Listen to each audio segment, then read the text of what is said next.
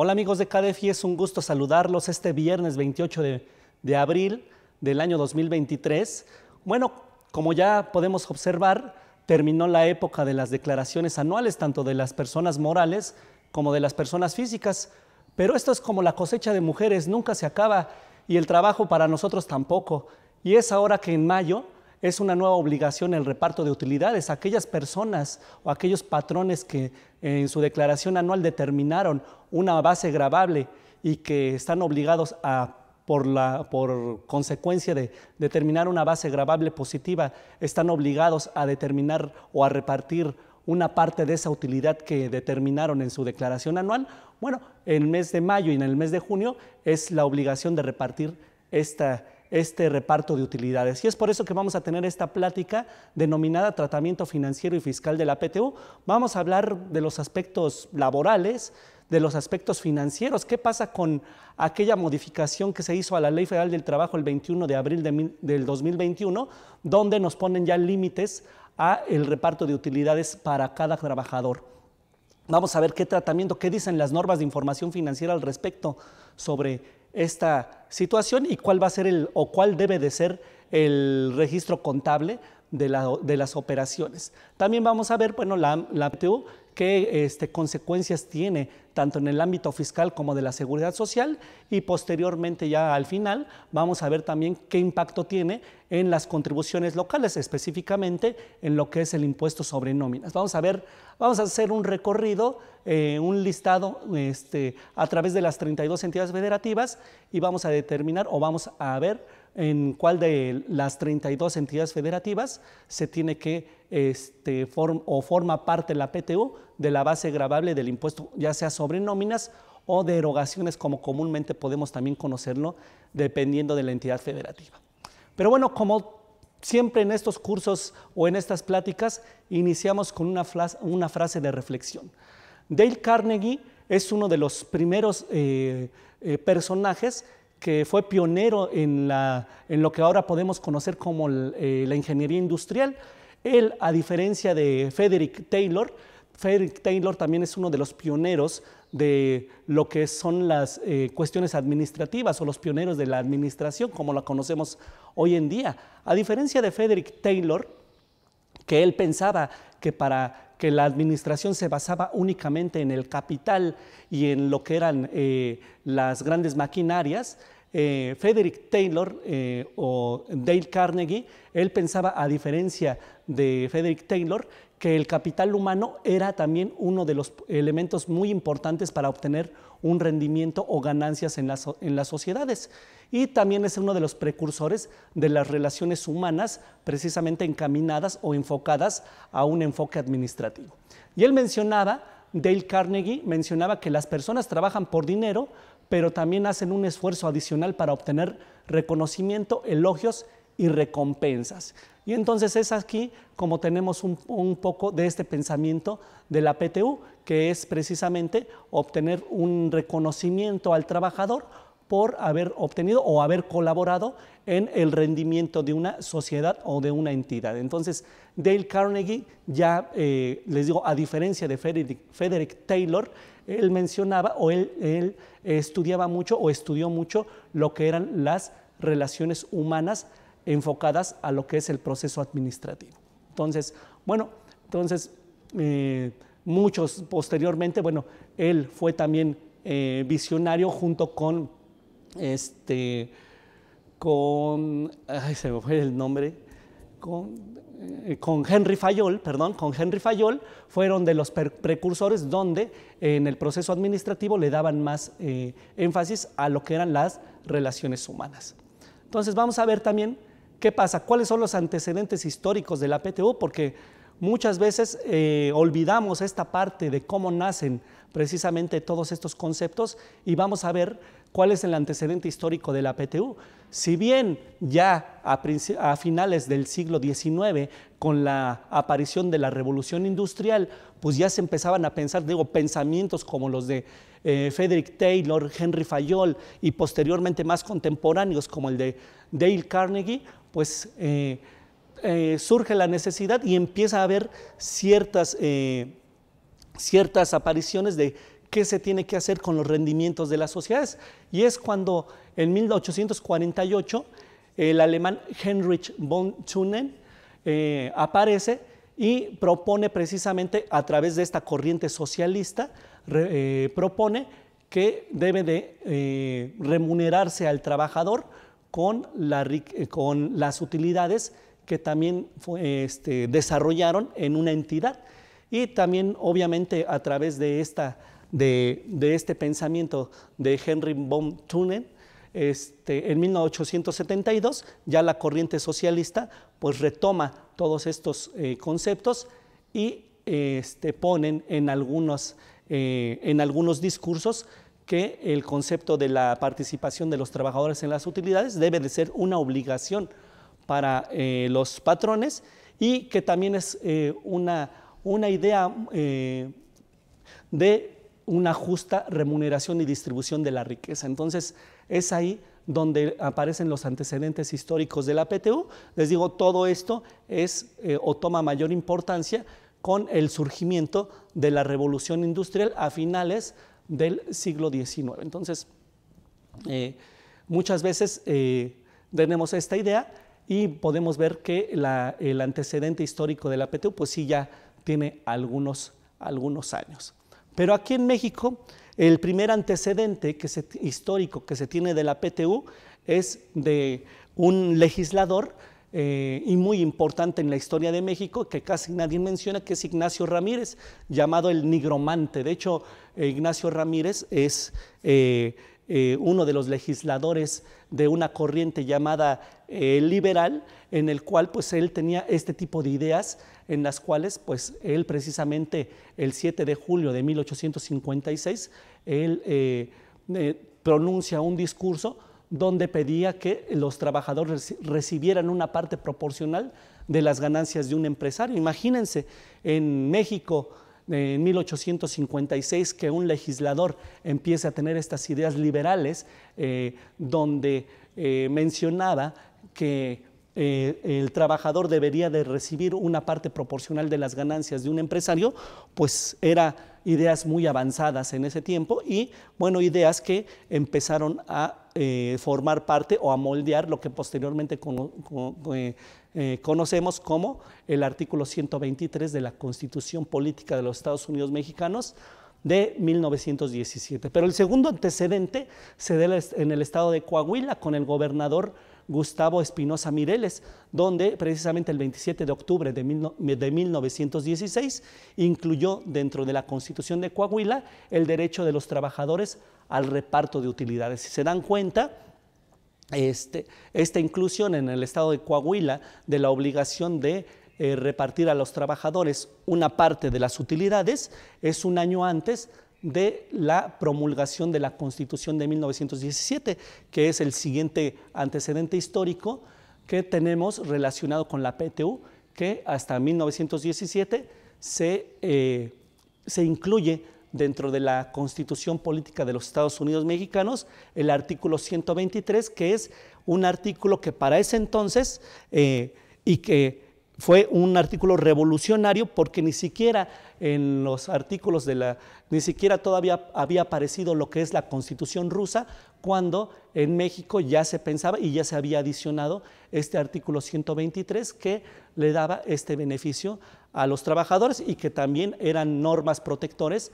normas protectoras a los trabajadores. Entonces, el siguiente antecedente pues ya es el que conocemos eh, hoy en día, que es el artículo 123, donde ahí ya de la Constitución Política de los Estados Unidos Mexicanos de 1917, donde ya se plasma con una idea ya más concreta eh, el reparto de utilidades a los trabajadores. Pero, como siempre, pues este, estas modificaciones o estas eh, eh,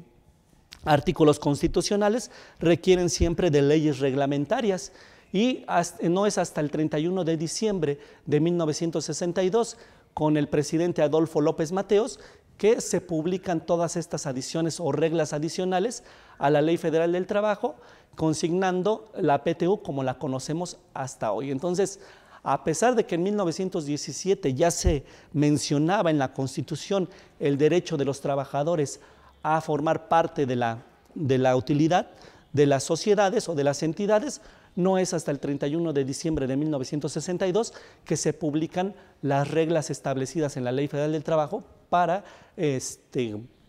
efectos de cómo repartir la PTU, quienes integraban este, o quienes tenían derecho a, a recibir esta PTU. Todo esto no fue hasta 1962 con el presidente Adolfo López Mateos.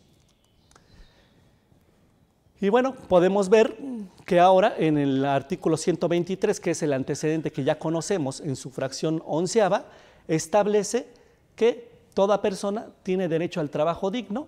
y socialmente útil, al efecto que se promoverán la creación de empleos y la organización social del trabajo conforme a la ley. Y bueno, ¿qué nos dice esta eh, fracción onceava del artículo 123 en su apartado A de la Constitución? Nos menciona que los trabajadores tendrán derecho a una participación en las utilidades de las empresas regulada de conformidad con las siguientes normas. Y en inciso A nos habla de una comisión nacional integrada con representantes de los trabajadores, patrones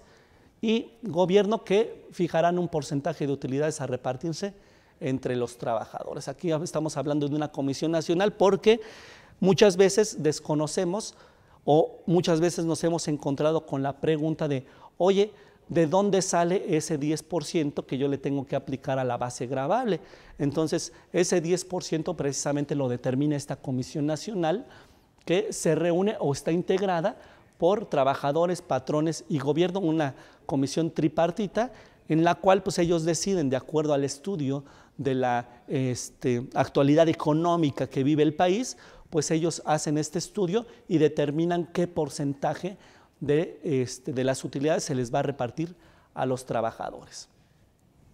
Y bueno, en el inciso B vemos que esta comisión va a practicar, como les mencionaba, las investigaciones y va a realizar los estudios necesarios para ver las condiciones generales que tiene la economía nacional y determinar cuál va a ser el porcentaje que se les va a, este, a proporcionar a los trabajadores de las utilidades. Y bueno, y esta comisión pues también va a proceder a revisar el porcentaje cuando eh, existan nuevos estudios o que las condiciones económicas de la, del país así lo requieran.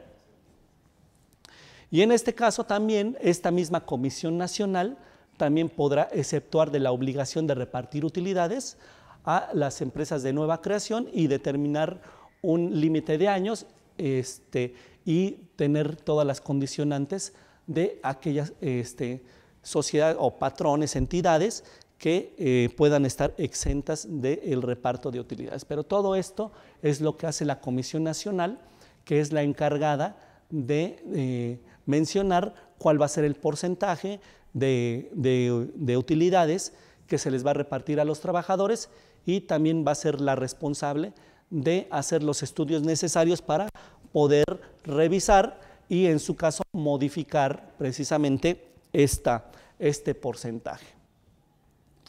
Y bueno, aquí en este caso, eh,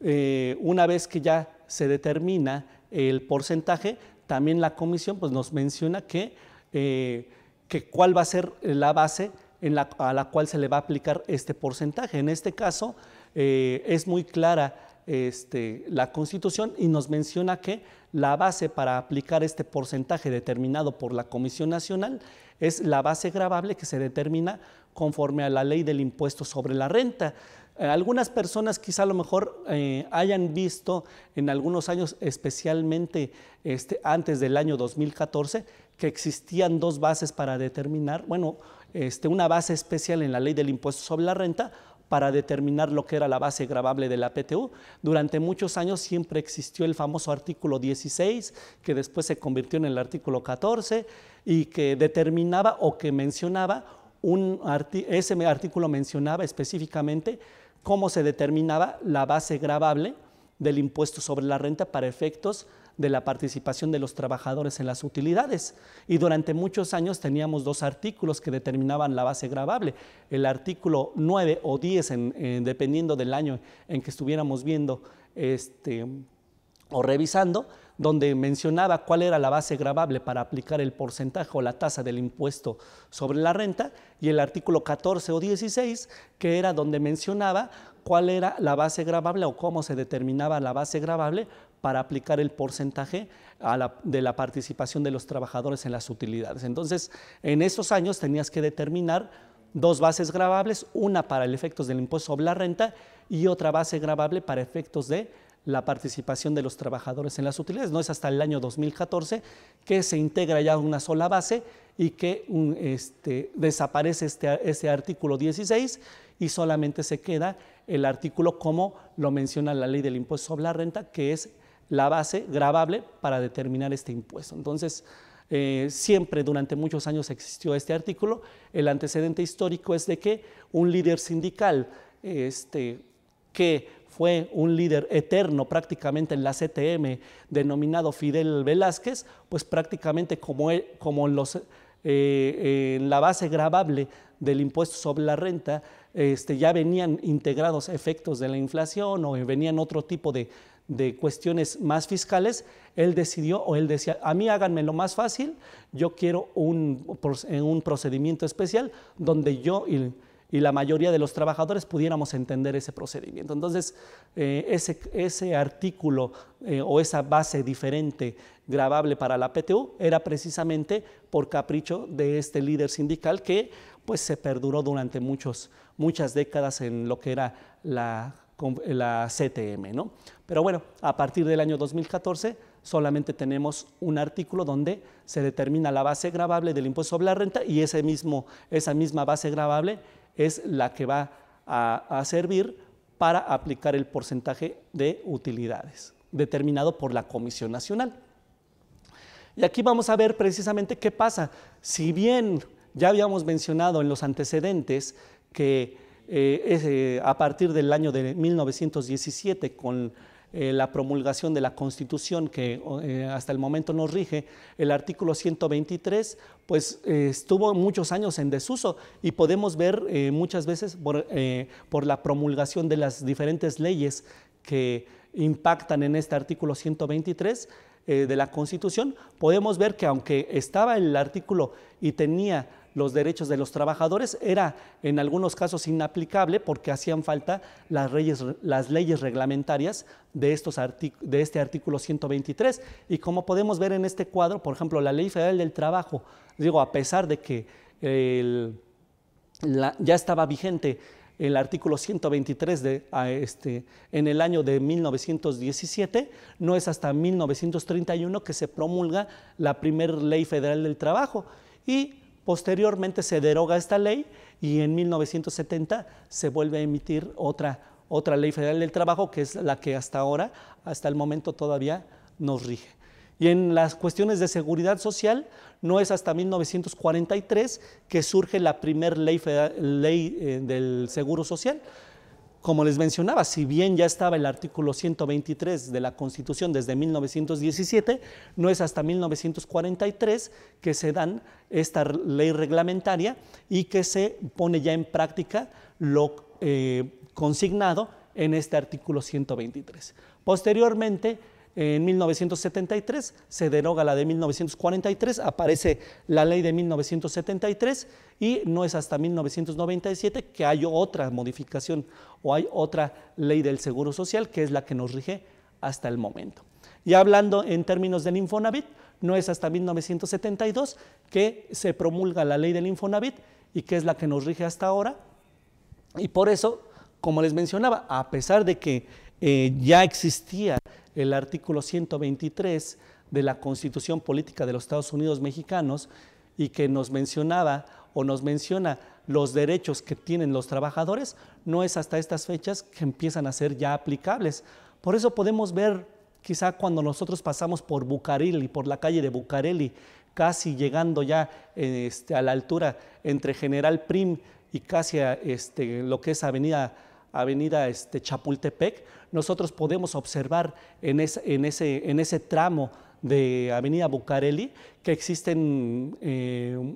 unidades habitacionales o casas que precisamente fueron construidas porque si bien ya estaba en vigor este, la ley del Infonavit, pues todavía no existían reglas como tales para poder eh, hacer su aplicación. Entonces, el trabajador, en este caso, todas esas construcciones o esas casas que están en, la calle de Bucareli, entre General Prim y, este, y lo que es Avenida Chapultepec, si se podrán dar cuenta, son casas eh, grandísimas y esas casas fueron construidas por una, eh, una cigarrera que en ese momento estaba en, este, en nuestro país y que construyó precisamente esas, esas esas unidades habitacionales para sus trabajadores para darle cumplimiento precisamente a lo que menciona la ley de, del de, bueno, más bien para darle cumplimiento a lo que mencionaba la Constitución Política de los Estados Unidos Mexicanos. Y si se dan cuenta como un dato meramente cultural, cada una de esas unidades habitacionales en la parte de arriba, en su entrada, tiene un nombre y ese nombre representa la o el nombre de las marcas de los cigarros que vendían precisamente esta cigarrera. Entonces podemos encontrar nombres como Carmelita, La Mascota, etcétera, etcétera. Si se dan una vuelta por Bucareli, observen esta parte y no nada más tenemos como antecedente eh, cultural eso, sino que también podemos mencionar que, por ejemplo, tenemos las unidades habitacionales de plateros que también son eh, pues construidas por patrones y que están eh, y que proporcionaron precisamente habitación para cubrir lo que mencionaba precisamente el artículo 123 de la Constitución antes de la entrada en vigor de la ley del Infonavit.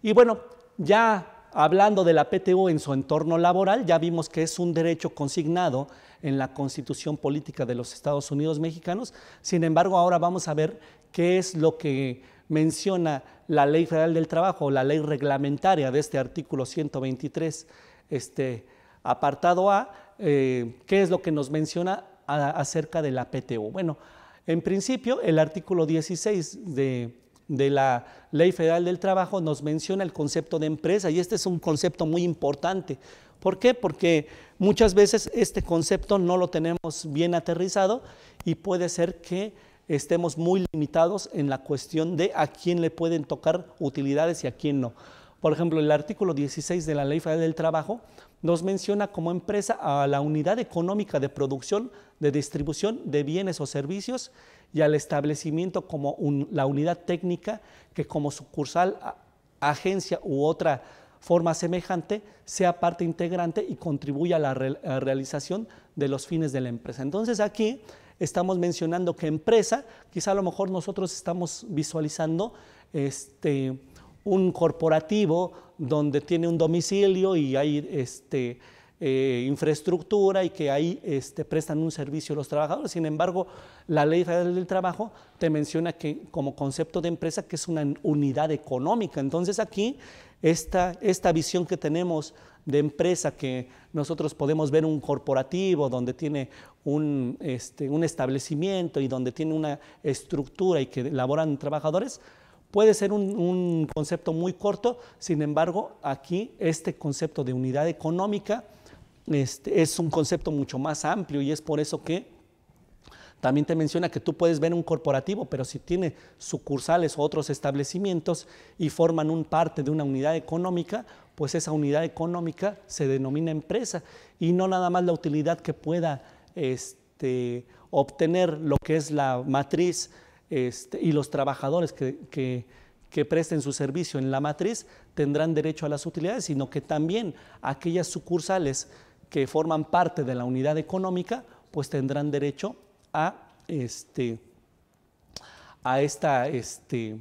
a, esta, a estas utilidades. Entonces es muy importante que nosotros observemos que el concepto de empresa es mucho más amplio de lo que nosotros podríamos imaginar. Lo mismo sucede, o este término también lo retoman las normas de información financiera cuando nos hablan del principio de entidad. También en las normas de información financiera podemos ver algo muy similar donde eh, nos mencionan que la entidad es una unidad económica, o sea, también va más allá de lo que nosotros podríamos pensar de lo que se refiere a una entidad. Lo mismo aquí en la Ley Federal del Trabajo, no nada más es eh, la estructura que nosotros conocemos o que nosotros podríamos ver este, que forma una empresa, sino que es una unidad económica. Si tengo varias sucursales o establecimientos y todas ellas trabajan para conseguir un fin en común, pues estamos hablando de una unidad económica y las utilidades que, que tenga, por ejemplo, la casa matriz, pues también tendrán derecho al reparto de utilidades las demás sucursales o establecimientos. Entonces es muy importante que nosotros tengamos en cuenta eso y entonces por eso a finales del año 2012 el artículo 127 en su fracción cuarta bis se, eh, se modifica y hacen precisamente mención de esta situación en los cuales las sucursales o establecimientos también tendrán derecho a esta participación porque son consideradas como una unidad económica. Entonces es muy importante conocer estos aspectos porque también se dio mucho esto en el caso de la subcontratación. Entonces es muy importante tener en cuenta esta situación. Bueno amigos, les damos la más cordial bienvenida a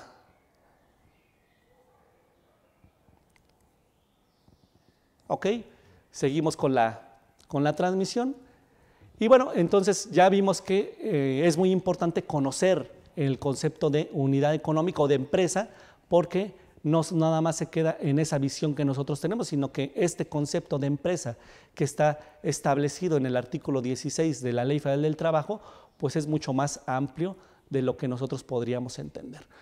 Le damos la más cordial bienvenida a nuestros amigos de Facebook en nuestra charla denominada Efectos financieros y fiscales de la PTU. Estamos hablando precisamente de el concepto de empresa precisamente que viene en la, Ley Federal del Trabajo y que es muy importante retomarlo. Les invitamos a nuestros amigos de Facebook que se están conectando en este momento a que nos apoyen con sus, con sus reacciones, sus comentarios, alguna pregunta, algún comentario que tengan al respecto. Es muy importante para nosotros y háganlo llegar a través de los medios de contacto de CADEF. Y es importante también la participación de nuestros amigos aquí en Facebook en esta plática denominada efectos financieros y fiscales de la PTU. Como les mencionaba, vamos a ver en esta plática eh, la PTU, sus efectos tanto como derecho constitucional como el entorno laboral, el entorno financiero, ahora que eh, se modificó desde el 21 de abril del año 2021 el límite para determinar o para repartir la utilidad, pues vamos a ver qué mencionan las normas de información financiera y cuál sería el registro contable al respecto. Vamos a mencionar también qué sucede con la integración al salario base de cotización y también vamos a ver en qué estados este, de las, eh, es el impuesto sobre nóminas es parte integrante de la PTU de esta base del impuesto sobre nóminas o impuesto eh, de remuneraciones. Todo esto vamos a ver a lo largo de esta plática. Pero estábamos precisamente comentando antes de, la, de entrar a la transmisión de Facebook que el artículo 16, primero vamos a definir qué es lo, eh, qué es lo que eh, nosotros, la Ley Federal del Trabajo nos considera como empresa. Entonces el artículo 16 ya vimos, para darles un repaso a nuestros amigos de Facebook, este, el concepto de empresa eh, se define como una unidad económica de producción o distribución de bienes y servicios y como platicábamos anteriormente,